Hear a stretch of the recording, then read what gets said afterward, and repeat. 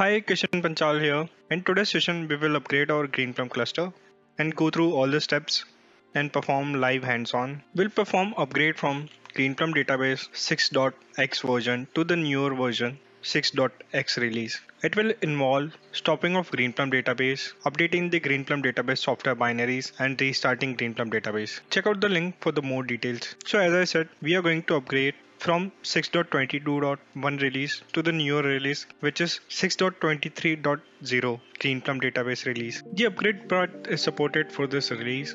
Make sure direct upgrade from Greenplum database version 4 or version 5 to the Greenplum version 6 is not supported. Let's not wait and start our Greenplum database upgrade. Before starting the upgrade process, we have to perform the following checks. Verify the health of the Greenplum database host hardware and verify that the host meet the requirement for running Greenplum database.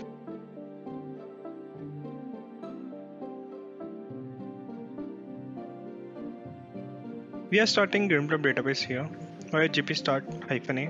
Once database is started, we will verify our cluster health.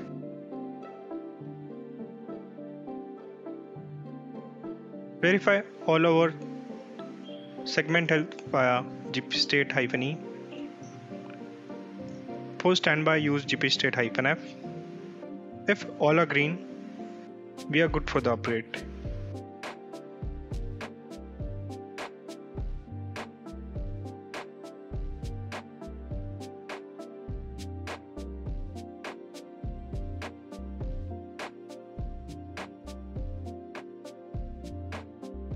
First, we will verify our current Greenplum database version. This can be done via executing gpstate-i as well as log in to the PSQL and execute select version. It will list you the current Greenplum database version.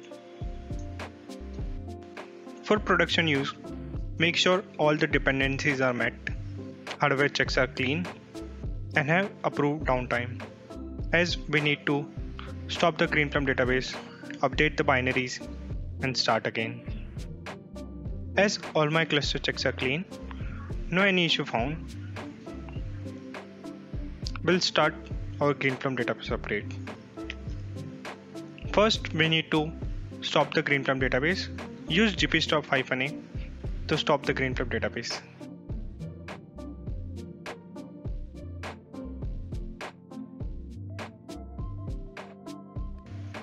Download the target upgrade binaries of Greenplum database on master host. Once binaries are downloaded, copy the binary to all other segment hosts as well as the standby host. Here you can use native SCP or you can choose GP SCP. We'll update our wget command to download the targeted Greenplum database binaries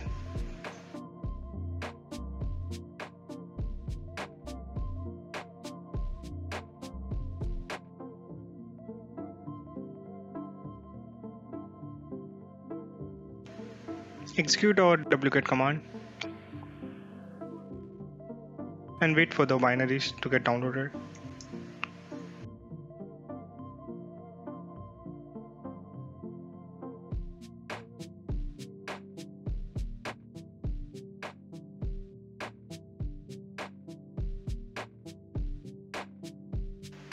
I'm using SCP to copy the binaries to all other hosts.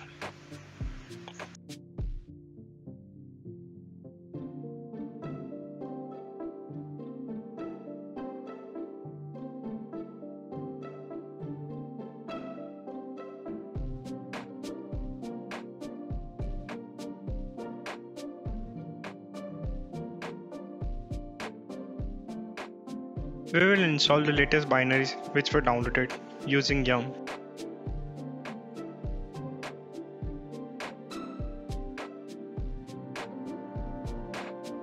Install Greenplum database binaries on each instance as root.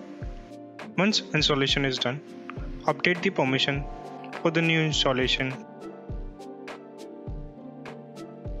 Edit the environment of the Greenplum database super user gpadmin and make sure you're sourcing clean Greenplum path for the new installation.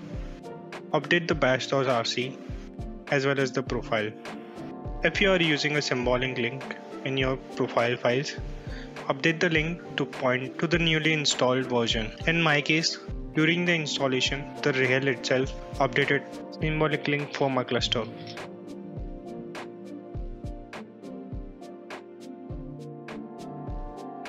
All are set and let's source our newly installed Greenplum binaries.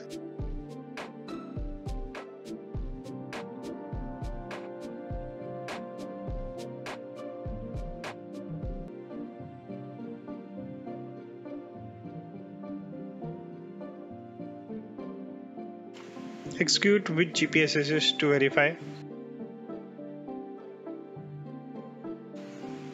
Follow the same procedure for all our segment hosts as well as the standby.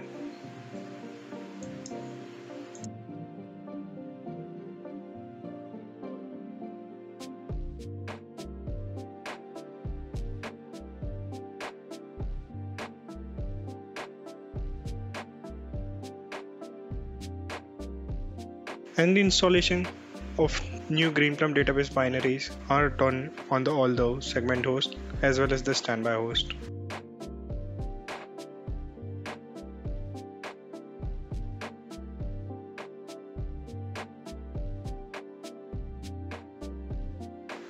Source the new binaries as well as and verify via executing with GPSS.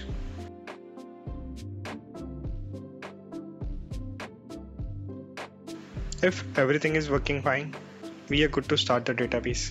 If you are having any issue, please connect to our Greenplum support.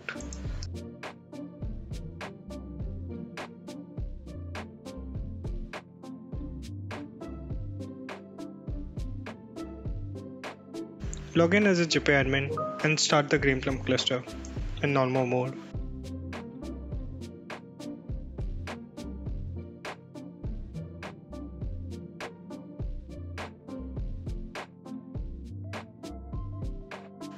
If you are using any Greenplum database extensions, then please use gppkg utility to reinstall the extensions.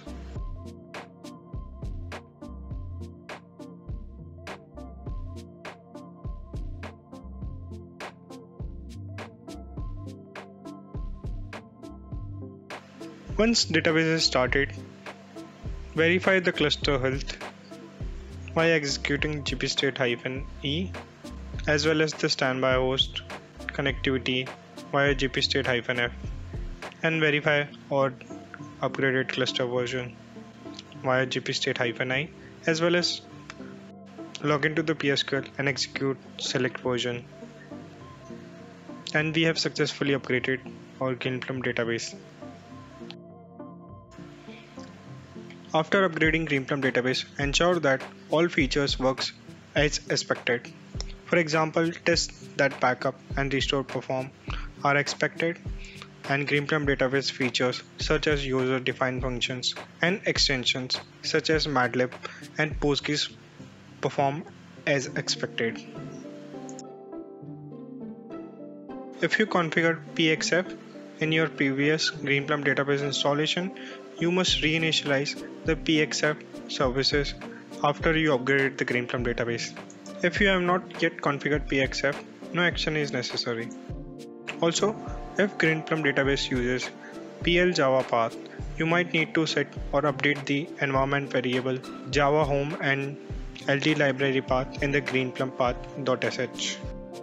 In the next video, we will discuss and perform the upgrade from the Greenplum database version 4 or 5 to the Greenplum version 6.